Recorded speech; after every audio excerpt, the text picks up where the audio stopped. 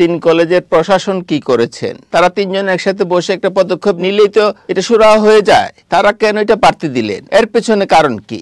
আমার মনে হয় তিন কলেজের অধ্যক্ষকে কাঠগড়ায় দাঁড় করানো উচিত। এই ঘটনাগুলোর আগে কিন্তু তারা ঘোষণা দিয়েছে। সেখানে সরাসরি লিখেছেন তিনজন মারা গেছে। মৃত্যুর ঘটনা ঘটেইনি। সরকারকে বলব সরকার এভাবে চুপ করে বসে আছেন কেন? স্বরাষ্ট্র মন্ত্রণালয় করছেটা কি? সুপ্রিয় দর্শক আমন্ত্রণ জানাচ্ছি মানব জমিনের নিয়মিত আয়োজন নিউজ অ্যান্ড ভিউজ অনুষ্ঠানে। আপনাদের সঙ্গে আছি আমি লুৎফর রহমান। স্টুডিওতে আলোচনার জন্য আছেন মানব জমিনের জয়েন্ট এডিটর শামিমুল হক। জনাব শামিমুল হক আপনাকে অনুষ্ঠানে আমন্ত্রণ জানাচ্ছি। ধন্যবাদ আপনাকে। দর্শক গত কয়েকদিন ধরে নানা ধরনের ঘটনা ঘটছে। এক ধরনের অস্থিরতা চলছে চারদিকে। কয়েকটি কলেজের শিক্ষার্থীদের মধ্যে একের পর এক সংঘর্ষ হয়েছে এবং এসব সংঘর্ষে বেশ কিছু শিক্ষার্থী আহত হয়েছেন। এবং এইসব ঘটনা রোধে আমরা খুব বেশি কার্যকর উদ্যোগ দেখতে পাচ্ছি না। আজকে আমরা এই চলমান ঘটনাগুলি নিয়ে আলোচনা করব, আলোচনায় যাচ্ছি। ঠিক বলেছেন, সারা দেশে একটা অস্থিরতা, বিশেষ করে দু চার দিন ধরে আমরা যা দেখছি ছাত্রদের মধ্যে, কলেজে কলেজে যে সংঘর্ষটা সেটা আজকেও ব্যাপক আকার ধারণ করেছে। আমার মনে মাঝে মাঝে একটা প্রশ্ন জাগে যে এর পেছনে নিশ্চয়ই কেউ না কেউ রয়েছে। কিংবা যদি আপনি সেভাবে বলেন যে নেপথ্যে কে বা কারা? সরকারের কথা আপনি বলছেন। সরকার কিন্তু এই যে কয়েকজনের উপদেষ্টা সেটা দিয়ে নয়, প্রশাসন পুলিশ প্রশাসন, সিভিল প্রশাসন, বিভিন্ন গোয়েন্দা সংস্থা, সব মিলিয়ে আপনার সরকার দেশটাকে পরিচালনা করে। এই যে একের পর এক ঘটনা ঘটছে, আপনার একটা হাসপাতালে একটা ছাত্রের মৃত্যুকে কেন্দ্র করে, সেই ডেমরা থেকে মাহবুবুর রহমান কলেজের ছাত্ররা সেখানে গেলেন, গিয়ে মারধর করলেন, ভাঙচুর করলেন। এর আগে অবশ্য মাহবুবুর রহমান কলেজের এক ছাত্র মারা যায় ন্যাশনাল হাসপাতালে। এর প্রতিবাদে ছাত্ররা রাস্তায় বসে, সেখানে তাদের উপর হামলা করে ওই দুই কলেজের ছাত্ররা। এ নিয়ে চলছে। কিন্তু এটা তো ওই দিনই থামার কথা ছিল। কাউকে না কাউকে তো এগিয়ে আসার দরকার ছিল। ওই তিন কলেজের অধ্যক্ষ কি করেছেন? তিন কলেজের প্রশাসন কি করেছেন?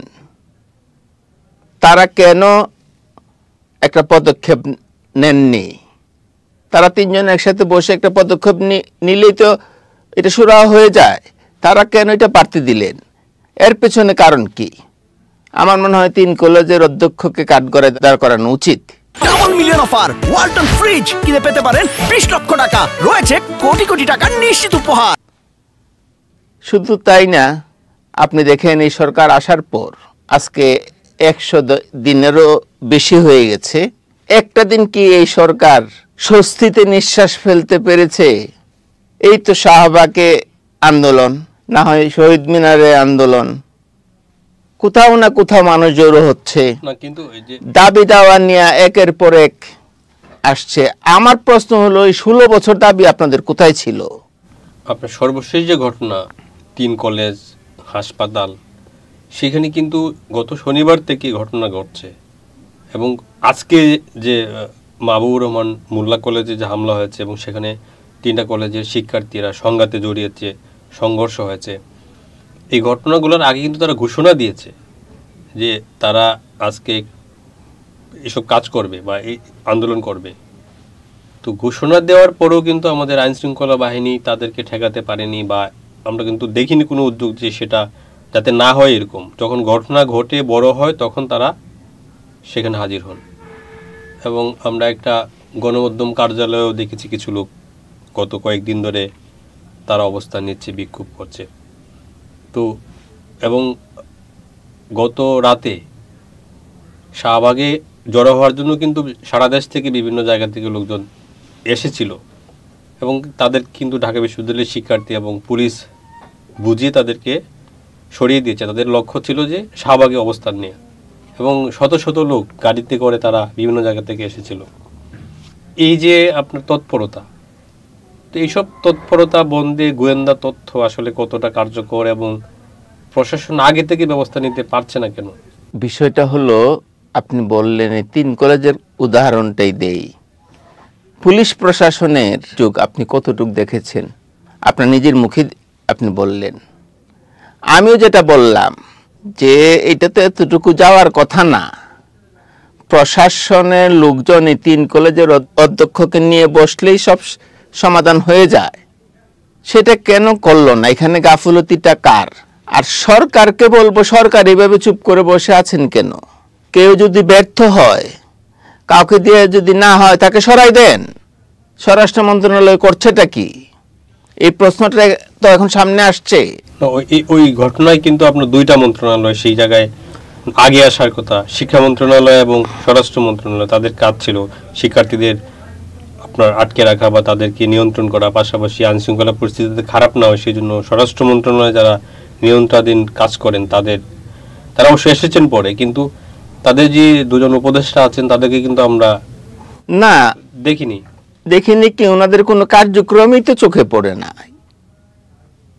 অথচ ওনাদের দুই মন্ত্রণালয়ের অধীনে আপনার এই যে ঘটনাগুলো ঘটেছে এই দুই মন্ত্রণালয় সামলানোর কথা। এবং আরেকটা বিষয় হলো যে এইসব যে ঘটনা ঘটে সরকার যারা সরকার বিরুদ্ধ যারা সরকারের বিরোধী তারা কিন্তু এগুলোকে পুঁজি করে। তারা সরকারকে ব্যর্থ প্রমাণ করার জন্য একটা তাদের তৎপরতা আছে।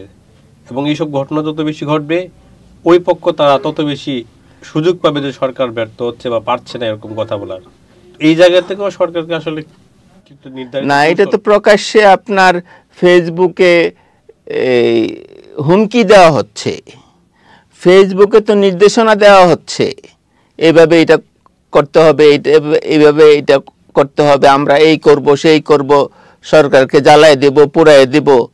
এই হুমকি তো আছেই, এটা তো প্রকাশ্যে হচ্ছে ফেসবুকে তাহলে এইটাই যদি ফেসবুকের এই বিষয়গুলো যদি আপনি নিয়ন্ত্রণ না করতে পারেন কদিন পর পর টেলিফোনের ফোন আলাপ মোবাইল ফোন আলাপ ফাঁস হচ্ছে।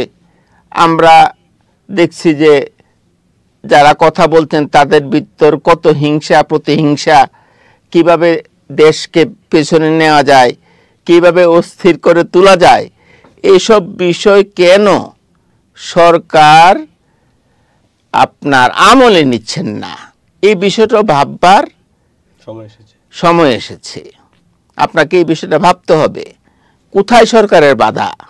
এগুলো ফাইন্ড আউট করে আপনাকে সঠিক সিদ্ধান্ত নিতে হবে। আরেকটা বিষয় হলো আপনার শিক্ষার্থীদের যদি কেউ উস্কানি দেয় বা তাদের পিছনে বা নেপথ্যে যদি কোনো শক্তি বা কেউ থাকে, তো সেইটা আসলে শিক্ষার্থীদের তো বোঝা উচিত যে তারা কি করছে।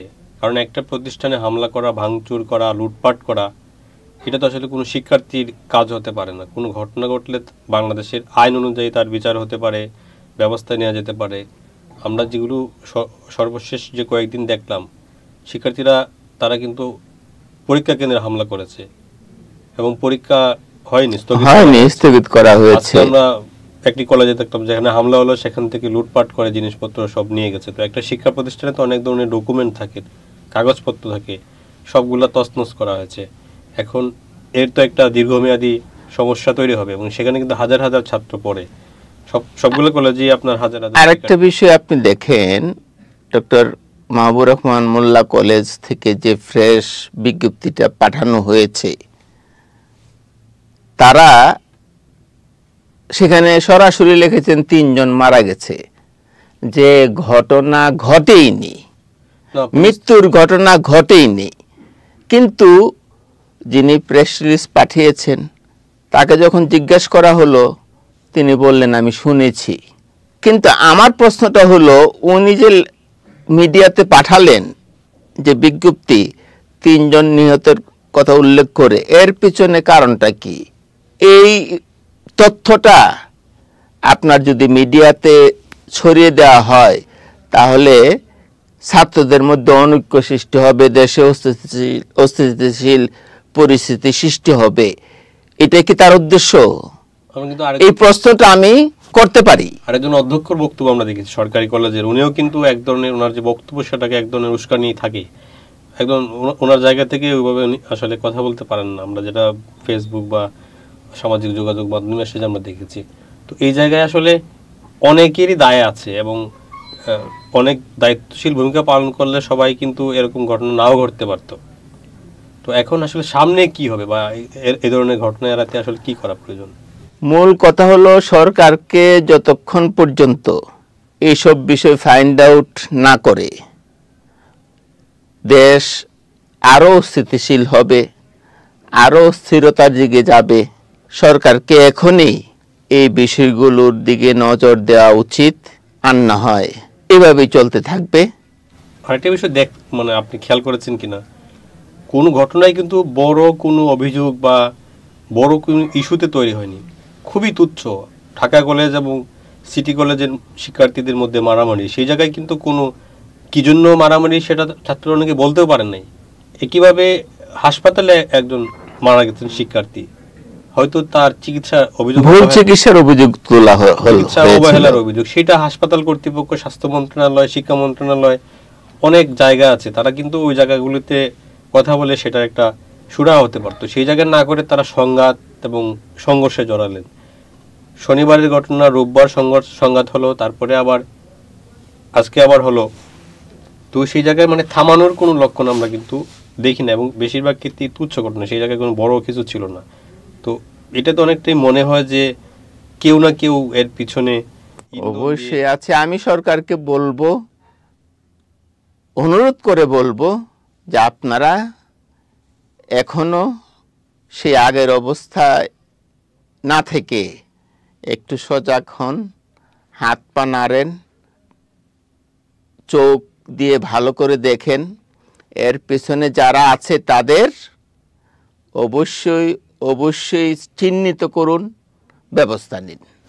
আমরা আরেকটা ইতিবাচক খবরও পেয়েছি সর্বশেষ, যেটা আমরা দেখলাম যে বৈষম্য বিরোধী ছাত্র আন্দোলনের পক্ষ থেকে আপনার ছাত্র আন্দোলনে যারা সক্রিয় ছিল, সক্রিয় ছাত্র সংগঠন যেগুলো, যারা ছিল তাদের নিয়ে তারা একটা বৈঠকের উদ্যোগ নিয়েছেন এবং সম্ভবত তারা সবাইকে নিয়ে এইসব পরিস্থিতি যাতে না হয়, হয়তো কোনো একটা উদ্যোগ নেবেন আমরা হয়তো যেটা ধারণা করতে পারছি। এই বিষয়টাকে আপনি কীভাবে দেখেন? এটা ভালো উদ্যোগ। কাউকে না কাউকে তো এগিয়ে আসতে হবে। প্রশাসন যেখানে নীরব, আর এই ছাত্রদের, ছাত্ররাই আমাদের স্বপ্ন দেখাতে শিখিয়েছে, আমরা স্বপ্ন দেখছি তাদেরকে নিয়ে।